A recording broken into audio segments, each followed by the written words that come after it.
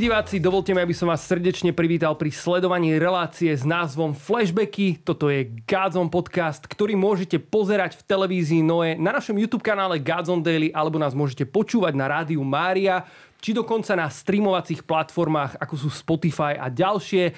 Vítam všetkých divákov a poslucháčov. V našom kresle dnes sedí veľmi významný a špeciálny človek, uh, tak pre projekt Godzone, ako aj pre mňa osobne. Jeho meno je Jan Buc, je to kňaz z východnej, katolický farár, ktorý okrem iného stál pri začiatkoch a pri vzniku celého Godzone projektu. Oveľa viac sa o ňom dozviete v tomto podcaste, takže sa pohodlne usadte, sledujte a počúvajte. Janko, a ja ťa vítam medzi nami. Ďakujem veľmi pekne. Janko, my tu máme pre každého hostia na úvod takúto misku s rôznymi otázkami, vtipnými aj takými vážnymi, čiže ja by som ťa v tejto chvíli poprosil vybrať si tri za sebou a odpovedať na ne podľa svojho vlastného uváženia. Môžem aj podľa tvojho uváženia hovoriť. Jedna, druhá, to je dlhšia nejaká. Dobre, tretia, takže idem. Dobre? Výborne. Utiekol si niekedy z domu? Výborne. Táto tu padá dosť často inak. Nie. Áno. Neutiekol. Ja som mal dobrú rodinu a dobrých rodičov a, nejak som to nikdy neprežíval, že by som potreboval utiecť. Ako flákal som sa, chodil som kade tade, ale že by som utiekol, nie. Brata som raz nahádal po dedine, keď utiekol, lebo sme ho zbili.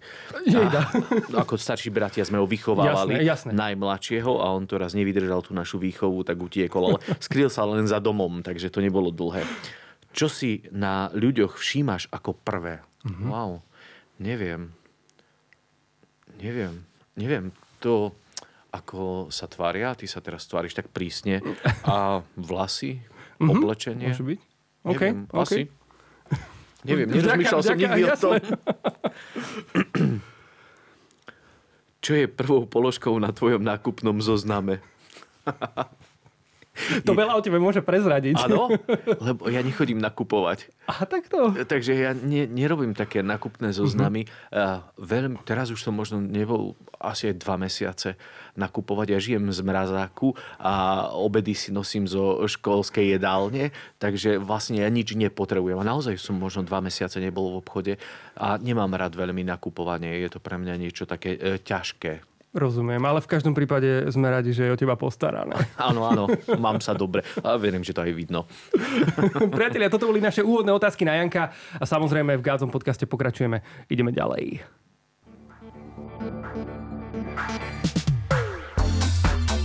Janko, tebe vyšla aj kniha s názvom Život plný lásky zamyslenia uh, s kňazom Janom Bucom. A v tejto knižke sa píše o tvojom príbehu, o tom, ako si sa stal kňazom.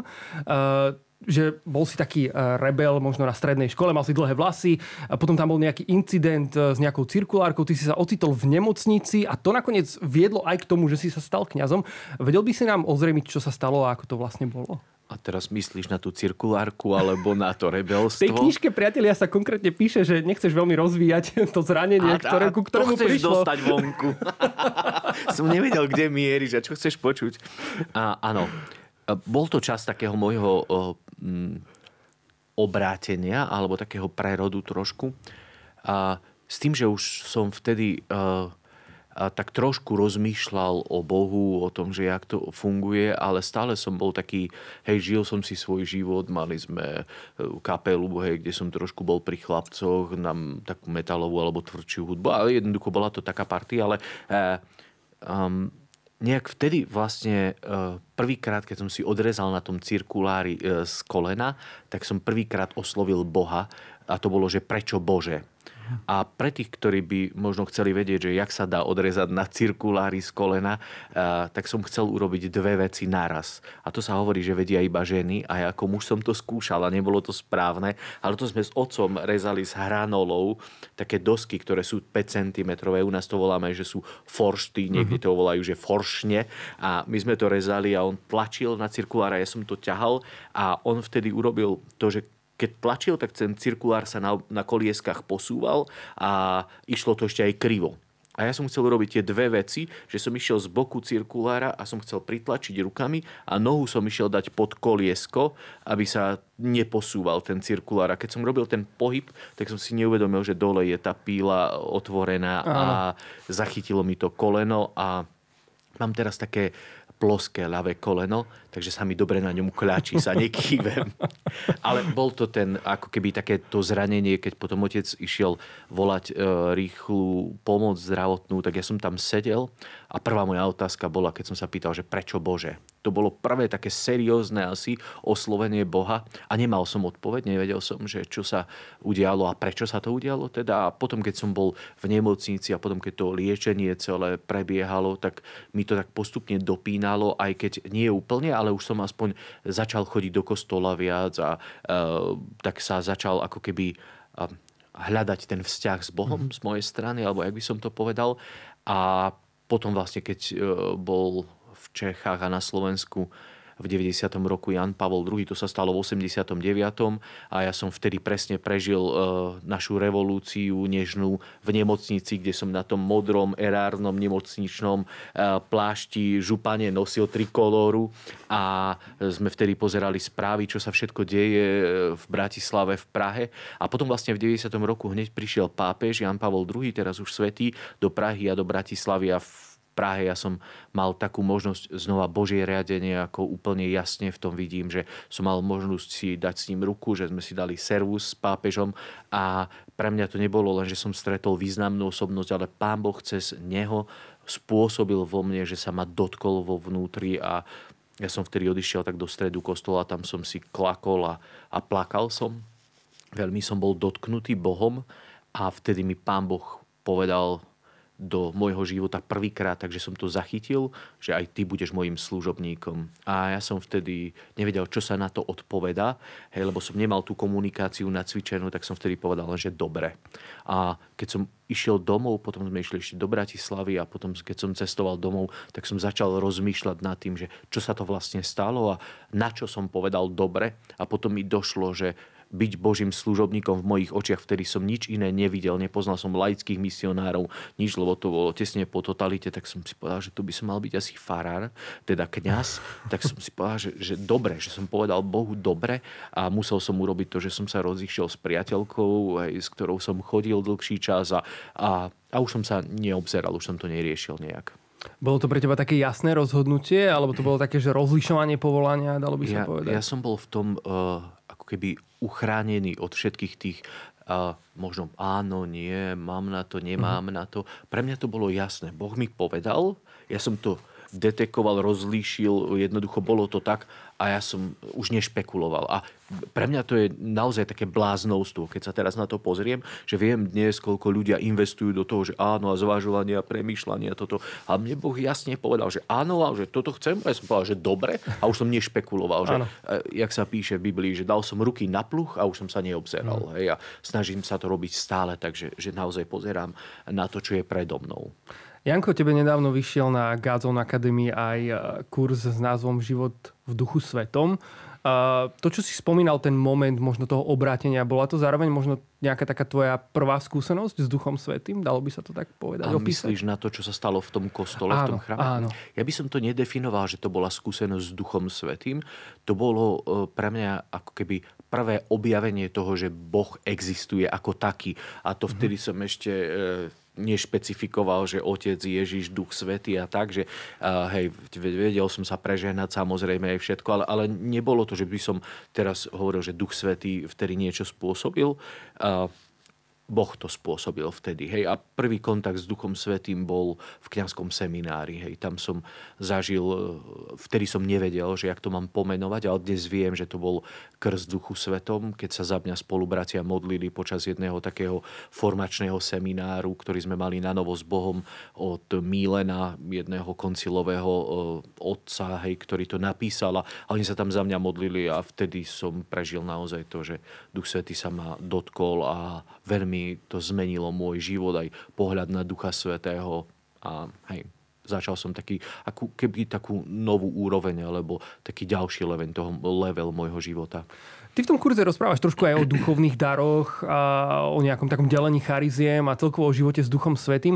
Čo by som povedal, ako aktivovať v živote kresťana taký ten život s, duchu, s Duchom Svetým, možno tie duchovné dary, o ktorých hovoríme dosť často?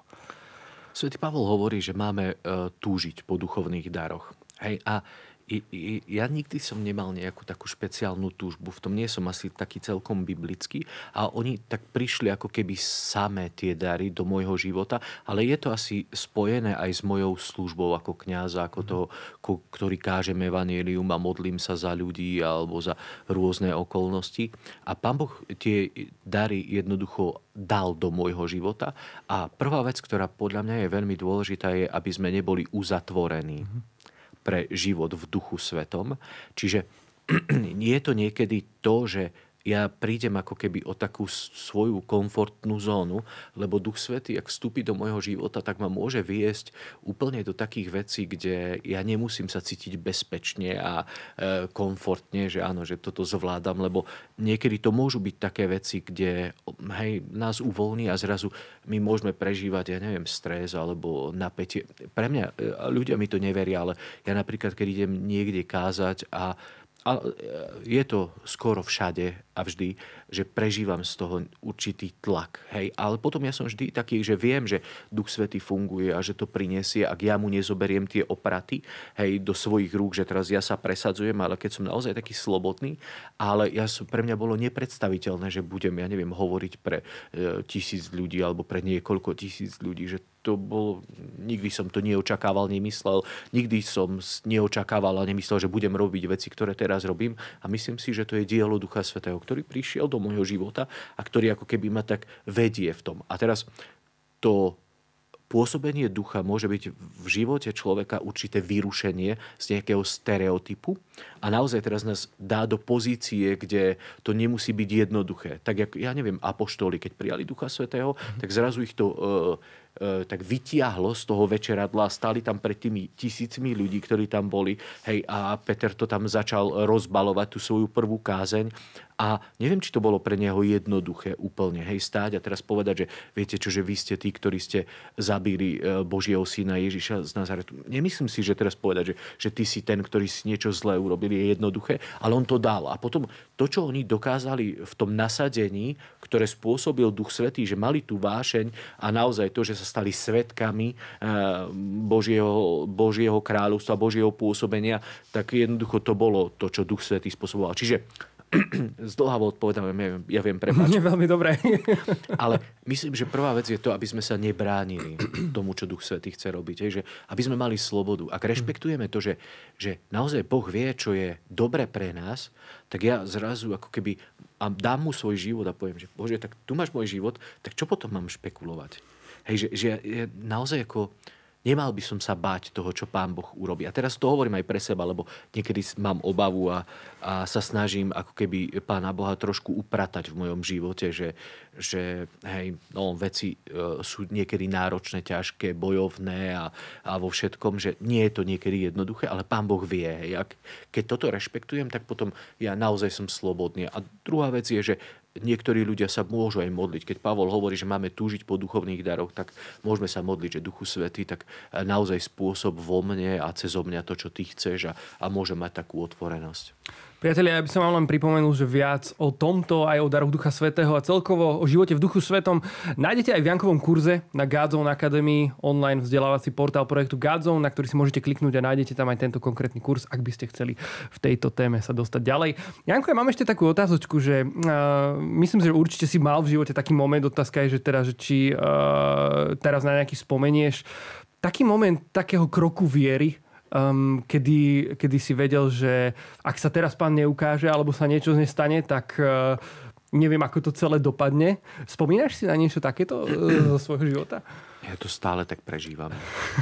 Naozaj. Uh, akokoľvek, keď aj napríklad idem niekde hovoriť, kázať, prednášať, vyučovať, tak ja si uvedomujem, že moje slova sú ľudské.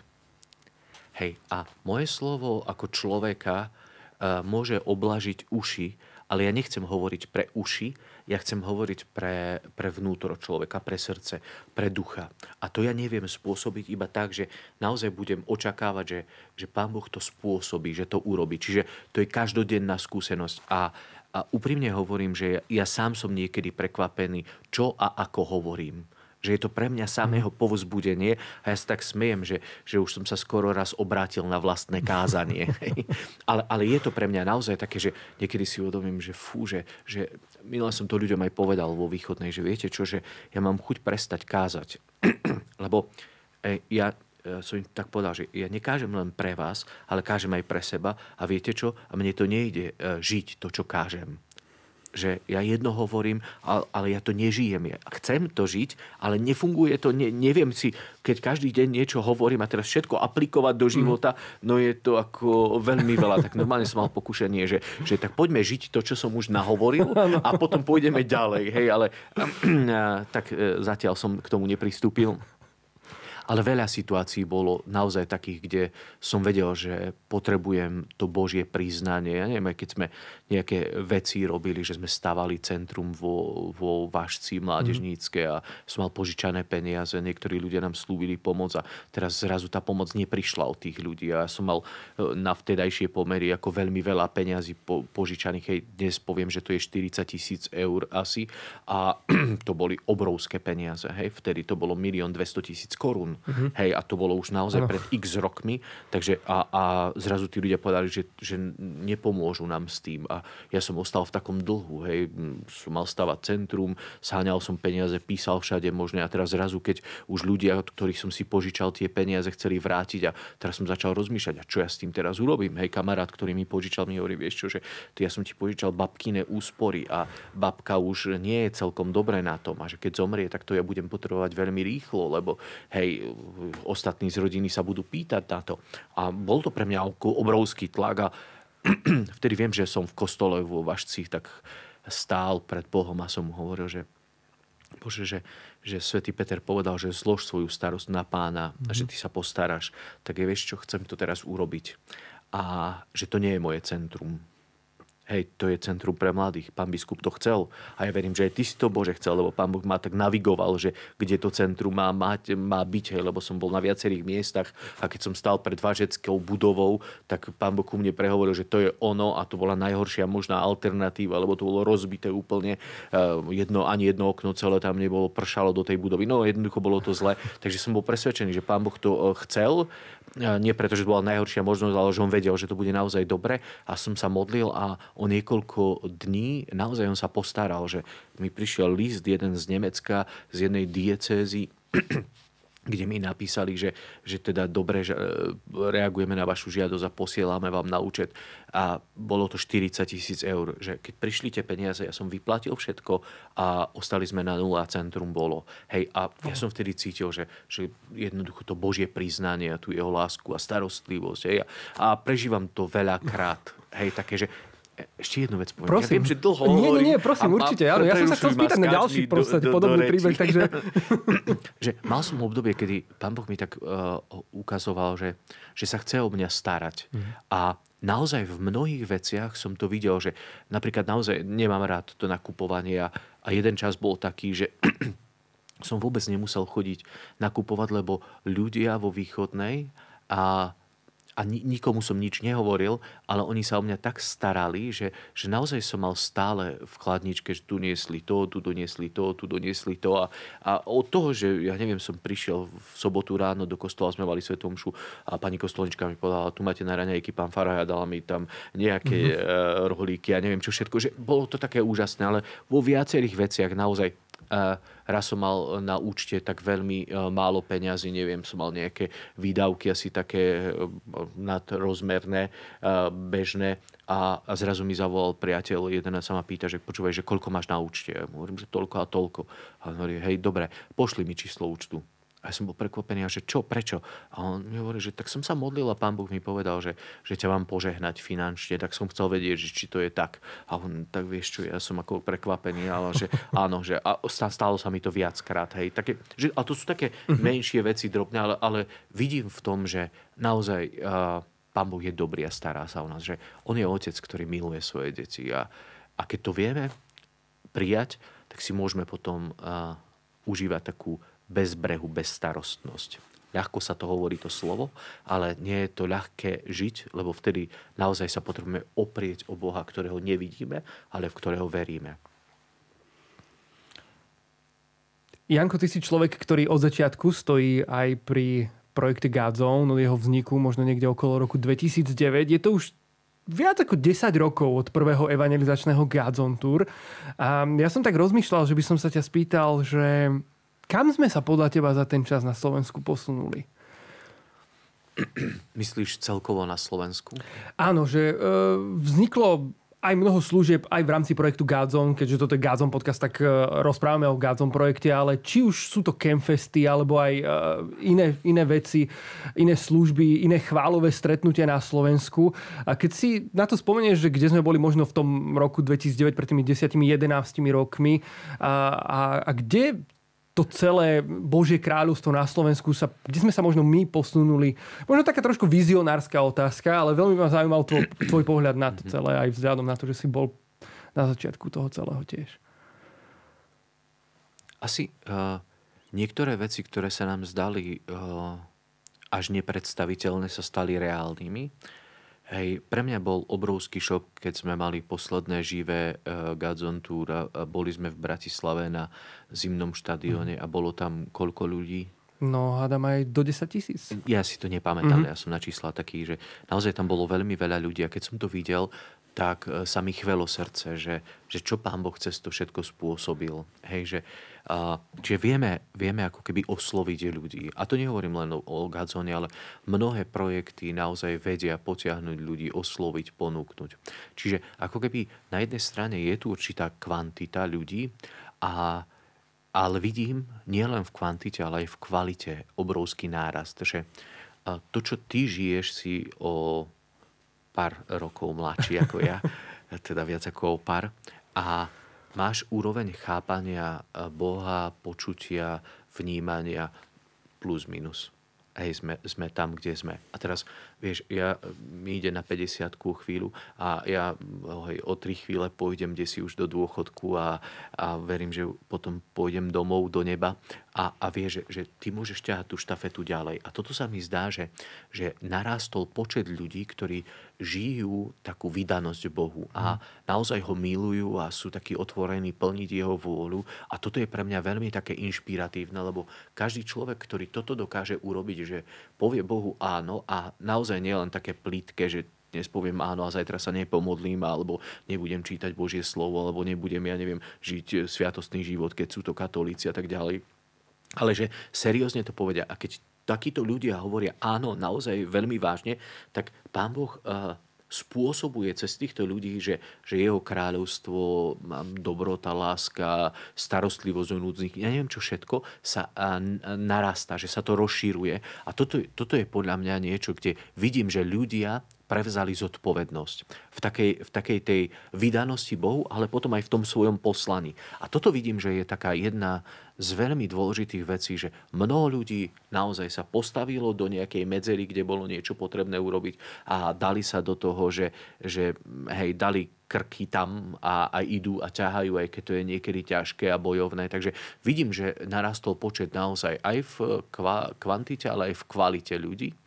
A trošku e, niekedy mám takú obavu, že či nie sme takí, že niekedy sa príliš zapálime a potom rýchlo zhasneme mm-hmm. pre niektoré veci, že, že ešte ako keby taká stabilita v kráčaní potrebujeme budovať. Ale to asi každý máme, hej, že raz je to lepšie a raz je to ešte lepšie a niekedy to je tak horšie, ale Samozrejme, že uh, sú viaceré veci, kde potrebujeme tak pracovať, napríklad spolupráca, hej, uh, to také konkurenčné prostredie. Uh-huh. Stále to vnímam, aj keď možno už je to v menšej miere, ale stále je tu ako keby také porovnávanie sa a teraz ja potrebujem vyniknúť a také, že to nemám takú radosť z toho. Trošku napríklad vnímam, že uh, uh, nám ako keby trochu ochladli niektoré vzťahy aj s e, bratmi protestantmi. Hej? Že, že niekedy sme boli tak ako keby v niečom bližšie, teraz ako keby sa to tak ochladilo. A, ale vidím také znova lastovičky, ktoré ako keby to tak uh, prinášajú, že, že naozaj je dobre otepliť znova tie vzťahy a že sme, Pán Boh na nás pozerá ako na svojich synov rovnako, na nás aj na nich a že potrebujeme vedľa seba stáť. Takže je to také hľadanie a možno aj taký zápas. Črta sa mi v tom celom ešte taká otázka, že aké dedičstvo podľa teba zanecháme generáciám, ktoré prídu po nás?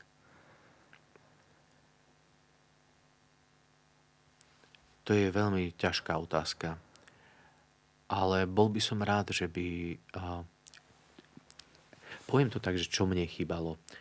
A že napríklad mne sa zdalo, že sme v mnohých veciach takí sami. Že, som, že veľakrát, ako mal som spoločenstvo, keď sme začínali, ja neviem, centrum animatorské školy a evangelizácia, oázy sme robili a neviem čo všetko, ale ako keby mi chýbali takí, že, že otcovia, ktorí by mi ukazovali niektoré veci.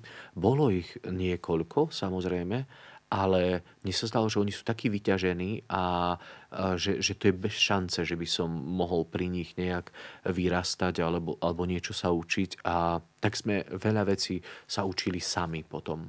A ja mám nádej, že a, generácie, ktoré prídu po nás, že si povedia, že my uh, už nie sme sami, že vidíme to, že jak sa ide, jak sa kráča, že tí ľudia stáli pri nás, rozvíjali nás a hej, toto by som bol rád, keby, keby to tak bolo Druhá vec, že uh, verím, že, že dokážeme ukázať, že život s Bohom, že to nie je úlet, ale že je to niečo, čo je nádherné, že je to dobré, že ľudia, ktorí nás budú poznať alebo budú vidieť generácie, ktoré e, idú po nás, že si povedia, že wow, že že oni chodia do toho kostola, že sa modlia, ale oni sú takí šťastní, sú spokojní, že oni vedia medzi sebou žiť v láske. A keď toto dokážeme, aby naozaj sa stalo dedičstvom generácií, tak potom naozaj môže sa církev stať takou veľmi príťažlivou a nádhernou, takou, akú má byť. Hej, mm-hmm. že, že podľa mňa toto je naozaj o tej kráse života, ktorú máme pred sebou, alebo môžeme žiť. Janko, ďakujem ti veľmi pekne. My sme v tejto chvíli vyčerpali čas, aj keď sa to možno nezdá, alebo respektíve, milí diváci, aspoň nám tu v štúdiu sa to určite tak nezdá. My by sme no. pokračovali teda ďalej s Jankom ešte určite, ale aj budeme, a to na našom YouTube kanále Gods on Daily, na ktorý si môžete prepnúť, na ktorý si môžete kliknúť a dopozerať celý tento rozhovor až do jeho konca. V tejto chvíli sa s vami lúčime, milí diváci v televízii Noé. Prajeme vám veľa, veľa požehnania a tešíme sa na vás pri ďalších flashbackoch. Janko, ďakujem. S radosťou. Ďakujem veľmi pekne. Ahojte, čaute.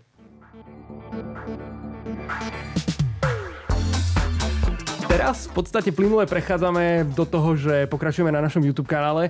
Janko, ďakujem ti veľmi pekne. Mne z toho celého e, také krásne povzbudenie sa črtá z toho, čo hovoríš, že Pán Boh nás naozaj pozýva snívať sny, ktoré nie sú dosiahnutelné z našich síl a z našich zdrojov a do snov, ktoré nás možno presahujú a do takého možno odvážneho snívania s ním, ako s Bohom, ktorému naozaj nič nie je nemožné. A ty si toho úžasným svedectvom, ty si bol riaditeľom televízie Lux, bol si riaditeľom, uh, respektíve predsedom ZKSM um, a mnohých ďalších vecí. Uh, to by som tu menoval do rána. Takisto teraz si vlastne farárom vo východnej. A ja uh, veľmi rád by som to tak povedal aj tu na našom YouTube kanále, že si takým veľkým vzorom vo vernosti, o ktorej si sám hovoril. Uh, kamarát, predtým, než sme začali točiť tento uh, tento podcast, tak mi hovoril o tebe takú vec, že uh, boli s manželkou pozrieť len tak vo východnej jednu nedelu, lebo boli niekde v Tatrách a že sa zastavili v kostoliku a mal si kázeň a, a bolo, boli tam nejaké 2, 3, 4 babky vtedy v kostole, ale že si kázal, ako keby si kázal pre 5000 ľudí na Campfeste. tak to je také krásne, že berieš to, berieš to úplne vážne uh, za každých okolností. Janko, ja mám na teba mnoho otázok ešte na Instagrame. A, ale ešte predtým sa ťa chcem spýtať, že um, ako premáhaš ty obrov vo svojom živote? Um, v kontexte Davida a Goliáša, ktorý, ktorý, ktorý premohol obrad tým, tým prakom, ktorý vystrelil vo viere. Um,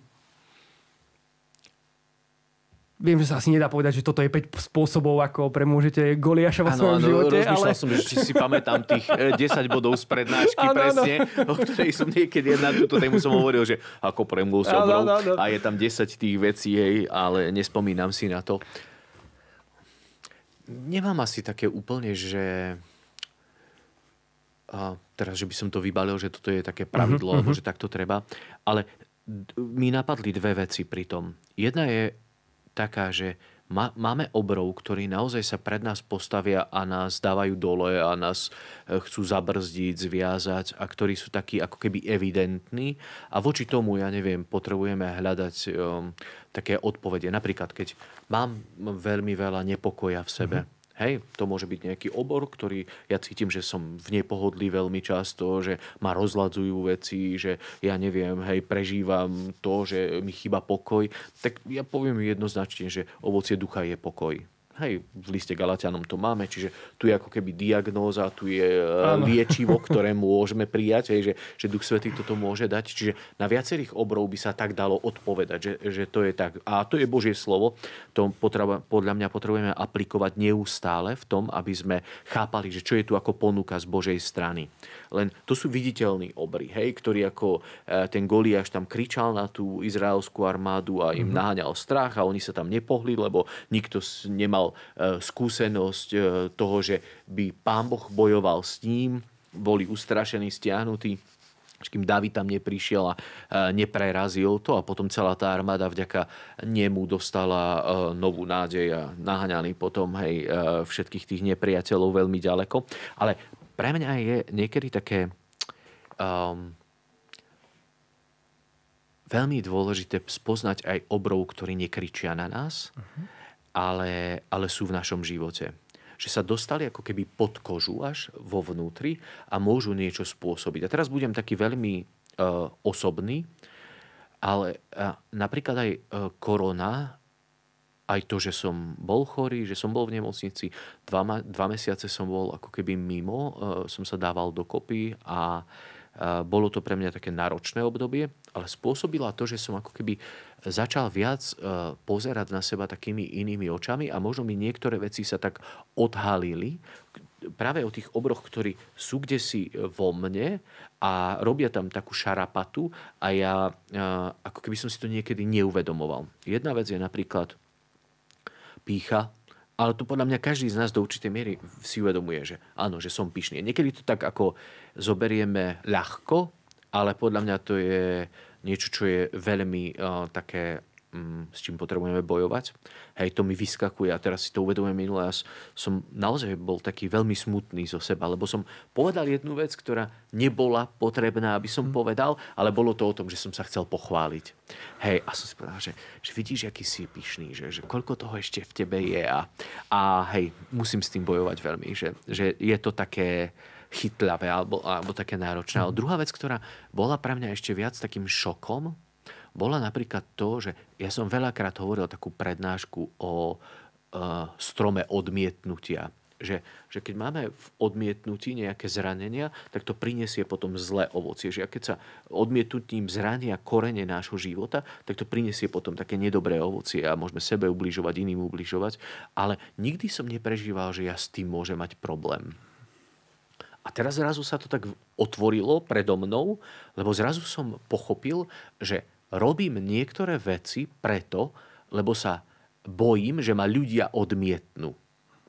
A moja motivácia nie je to, že chcem slúžiť Bohu, že teraz uh, hľadám Božie kráľovstvo, že je láska, že je služba, ale som si tam, že to som ja. Ja mám, robím veci zo strachu, lebo že keď to neurobím, tak ľudia si o mne niečo pomyslia, že lenivý farár, alebo že toto urobil tak a toto urobil tak. Takže ja niekedy mám motiváciu ako keby uspokojiť ľudí. Nehovorím, že to je že zlé, alebo urobiť veľa vecí pre ľudí. Ale teraz tá motivácia, že keď sa bojím, že ma ľudia odmietnú, nie je dobrá. Ja mám robiť veci preto, že, že mi to pán Boh hovorí, že ma vedie k tomu, že je to také normálne. Čiže uh, ja len som objavil v sebe to, že, že veľa vecí, a, a my to, kedy som tak nerozumel sám sebe, že prečo to vlastne tak robím.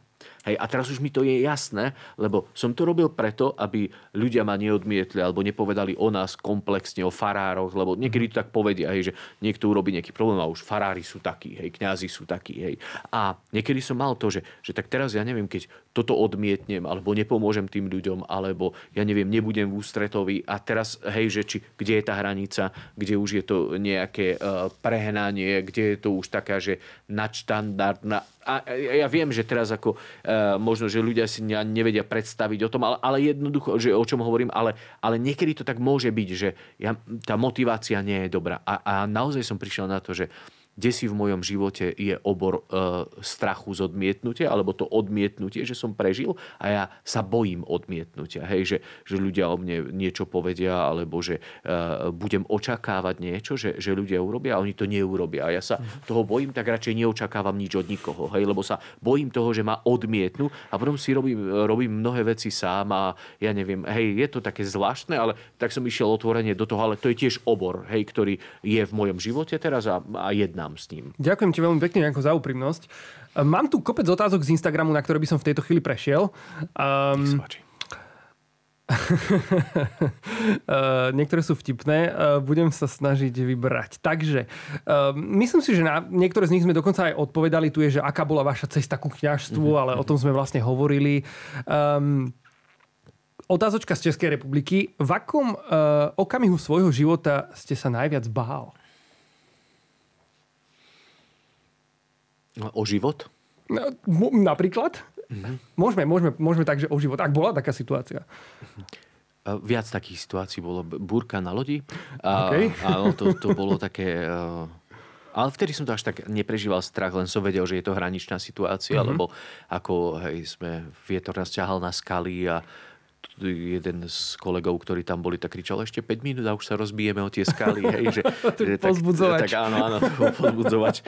A ale jeden moment mi tak napadol so strachom, že a, keď som prvýkrát uh, letel na uh, padáku, paraglidingu. Uh-huh. A to som bol ešte v seminári a to chlapci, ktorí majú skúsenosť teraz s tým, tak hovorili, že vtedy sme mali len kopírovací stroj, že to len kopíroval uh, ten kopec a uh, nešlo nám v, ten, v to po obede nejak vzlietnúť a sme si povedali, že idem posledný vyskúšať a že to balíme, ideme naspäť uh-huh. do mhm. seminára a zrazu prišiel taký závan vetra nejaký a vtedy tak mrholilo a zrazu ma to vykoplo a som bol, ja neviem, možno 100 metrov hore a, a teraz som sa pozrel na seba, ten padak tak, tak som sa bal, že sa vyleje hej, a že tu jednoducho e, žiadny záložák, hej, vtedy nič to bolo, uh, to bolo hraničná situácia. Okay. A vtedy som si už ako hovoril, že no, že asi by som si mal olutovať hriechy, hej, že, že, že je, to tak, ale chvála Bohu, potom dobre to dopadlo, som preletel trošku, hej, na, najdlhší let v, tom, v tom čase to bol môj a som dopadol, takže to bolo tak, tak v poriadku. Ale to, čo, ako, ne, nechcem to nazvať, že strach, ale uh-huh. bojím sa toho, že budem mimo Božieho plánu. Uh-huh. Hej, toto je pre mňa asi uh, jedna z kľúčových vecí, ktoré v živote stále chcem mať pred sebou a hľadať, je, že, že chcem plniť Božiu vôľu. Keď som mal primície, prvú svetú omšu ako kňaz, uh, formulár bol o duchu svetom a žalm som mal ten, že hľa, prichádzam, pane, chcem plniť tvoju vôľu. A toto je vo mne neustále, že asi nie je nič pre mňa také, čo by som sa viac bál, že to stratím, ako to, že nebudem plniť, žiť Božiu vôľu. Ďakujeme, Janko. E, tá plavba také biblické inak, nie? Že vlastne búrka na mori. Áno, Zažili apoštoli veľakrát s Ježišom. Áno, áno, áno. to len tak ma napadlo, že pridať k tomu celému. Idem k ďalšej otázočke. E, tvoje svedectvo, ako si spoznal Boha, myslím, že trošku sme načrtli v podcastíku. Uh, ako si vnímal uh, Boha počas obdobia uh, tej najintenzívnejšej korony? No, bolo to ťažké. Tým, že som, ako neviem, pre mňa najintenzívnejšia korona bolo to, keď som bol chorý. Uh-huh. Hej, Jasné. Že, že ma to dalo dole a vtedy to bolo veľmi ťažké. A nedokázal som sa ani sústrediť na modlitbu, ani nejak byť veľmi hlboko, keď som doma ležal. V nemocnici to už bolo oveľa lepšie že e, paradoxne, paradoxne lebo ťažší priebeh som mal doma, lebo Aha. som ležal v, temlo, v teplotách, e, mal som všetky príznaky, okrem toho, že e, som nestratil čuch a chuť, hej, to bolo zaujímavé, ale všetko ostatné, naozaj teploty bolelo ma všetko, aj vlasy ma dokonca boleli a, a zle to bolo, som nevládal vnímať veľmi. A potom v nemocnici to už bolo také lepšie a tam som už sa snažil byť viac s Pánom Bohom, že už som dokázal sa aj trošku sústrediť na modlitbu. A, a tam som vnímal aj niektoré veci, ak mi pán Boh hovoril, aj som si zapisoval vtedy. Veľa som sa modlil za Slovensko, vtedy som bol na, vo Vyšných hágoch a, a to je na kopci takej, to, to, tá, ten liečebný ústav alebo tá nemocnica, tak odtiaľ som žehnal Slovensku. Bolo to také zaujímavé, hej, že som sa pýtal aj vtedy veľa pána Boha, že čo on s tým a, a čo tak ďalej. Takže vtedy to bolo pre mňa také veľmi silné. Janko, na túto otázku si čiastočne odpovedal, ale črtá sa tu ešte aj podľa mňa ďalšia odpoveď. Prečítam ti. E, akými zlyhaniami si si v živote prešiel a sú zlyhania a pády Boží plán? Myslím si, že Pán Boh to vie využiť veľmi dobre. Že tak jak malé dieťa, keď mu x krát poviete, že, že nerob to, alebo nechoď tam, urobíš to a, a nakoniec tam ide a máme takú chuť povedať, že hej, tým deťom, že a povedal som ti. Hej, že, že je, je to tak v nás, ale to dieťa si to zapamätá a mám taký pocit, že pán Boh niekedy uh, môže urobiť to, že nám nechá odrieť si koleno alebo spadnúť na zadok, ale nemá nás to zabrzdiť v tom, aby sme išli ďalej a hľadali to, čo on chce. Čiže aj naše slabosti môžu byť takým niečím, čo môže byť Boží, Boží výchovný prostriedok pre náš život. Hej, Pavol eh, to tak prežíval, že mal ostene. Nevieme presne, čo to bolo, mm-hmm. ten osteň, ale eh, on tam hovorí, že viackrát som sa modlil, aby mi odobratý hej, osteň a pán Boh mu povedal, že stačí ti moja milosť. A teraz toto bolo to školenie na pokoru, hej. A teraz aj ja by som chcel byť svetejší. Chcel by som niektoré veci nerobiť, nebyť nervózny, možno, ja neviem, milovať viac ľudí, alebo nemať strach, alebo ja neviem, mať viac odvahy v niektorých, hoci čo. A niekedy potom si poviem, že stačí mi Božia milosť. Hej. A teraz toto je niečo, kde ja potrebujem uznať tú svoju obmedzenosť a vidieť tú Božiu veľkosť a všemohúcnosť. Ak toto dokážeme, tak uh, hej, to, tá, ten výchovný proces v tom dozrievaní, do ktorého nás Pán Boh vedie, bude potom taký úspešnejší a lepší. Hej, že veľa uh, v liste Galatianom Pavol píše, hej, že my potrebujeme prejsť z toho, že už nie ste otrokmi. Hm. Hej, ale už, ja tam vsúvam ešte aj, že už nie ste maličké detičky, že už ste synovia. A syn už ako keby mal dozrieť, že už prevezme trošku aj toho, tej zodpovednosti za otcov mm. dom a tak ďalej. A on tam ešte pokračuje aj dedičmi. A teraz, čo to znamená, hej, byť dedič a Ježišov spolu dedič. Hej, čo má Ježiš? Má všetko, hej. A teraz, jak to usporiadať v tom našom živote. Takže a, to dozrievanie a, a tá duchovná zrelosť je, je proces a myslím si, že Pán Boh aj naše slabé stránky veľmi dobre použije na to, aby On ukázal ten svoj majestát a to, že dobre chce a že nás vedie. Ďakujem za odpoveď. Posledná otázočka, ktorú ešte stíhame je, v akom momente si sa cítil byť naplnený Božou láskou až po okraj? Wow. Neviem. Neviem je, je veľa tých okamihov a to naozaj je také, že, že ak ideme do tej dovnútra a do toho stretnutia s Bohom a keď e, sa vypnú všetky ostatné rušivé elementy, tak nič neved, on je láska. Hej, a teraz len to stretnutie s ním, veď to je stretnutie s najväčšou láskou. Hej, ja si pamätám, a keď som a, chodil s jedným dievčaťom ešte na, to bolo na konci základnej školy a za, na začiatku strednej. A sme sa v našej dedine nemohli stretnúť, neviem, uh, jak dlho sme sa tak naháňali, že ja som prišiel tam, bola tu, hej, hľadať a teraz sme išli a keď sme sa po, ja neviem, či hodine alebo hodine niečo stretli, tak si pamätám a to je pre mňa taká chvíľa, kde som ju objal tam e, v dedine a že to bolo nezabudnutelné, lebo som ju hľadal a zrazu ako keby to stretnutie s tou láskou vtedajšou bolo veľmi silné. Hej, ostalo to vo mne. A teraz, keď ja stretnem dokonalú lásku, preto hovorím, že tých okamihov je toľko mhm. veľa, že ja neviem to teraz povedať, že kedy, ale, ale je to pre mňa veľmi také nádherné byť s Bohom a, a hej, keď toto dokážeme príjmať jeho dobrotu, lásku, len, len aj z toho, že sme spolu, že to bytie s Bohom je o plnosti lásky a užívajme si to. amen, amen. Priatelia, lepší záver tohto podcastu si neviem ani predstaviť. Ďakujem ti veľmi pekne, Janko, za každú jednu odpoveď. Priatelia, vám ďakujem, že ste nás počúvali a že ste nás sledovali. Nezabudnite, že náš YouTube kanál môžete odoberať. Otázky našich hostí sa môžete pýtať na našom Instagrame gazon.sk No a e, my s Jankom sa s vami v tejto chvíli lúčime. Prajeme vám veľa, veľa požehnania. Vidíme sa pri ďalšom Gádzom podcaste. A ešte mi dovolte, aby som spomenul aj Jankovú knihu, alebo knihu, ktorá teda vyšla Jankovi. Život plný lásky, ktorú nájdete na Gádzom shope. V tejto chvíli môžete si tam kliknúť aj prostredníctvom linku v našom popise, v popise tohto videjka a tohto podcastu. Um, dobre, poďme ďalej do života s Bohom, poďme s ním tráviť čas a naozaj nechať sa premieňať Božou láskou. Ja som veľmi inšpirovaný, verím, že aj vy. Nezabudnite komentovať to, čo sa vám páčilo, to, čo vás povzbudilo. Vidíme sa na budúce. Čaute. Majte sa pekne, ahojte. Ďakujeme, že si sledoval toto video. Odber nášho YouTube kanála ti zaručí, že už ti žiadne z našich videí neújde. Ak chceš podporiť celoročnú službu projektu Godzone, môžeš tak urobiť prostredníctvom QR kódu na obrazovke. Ďakujeme.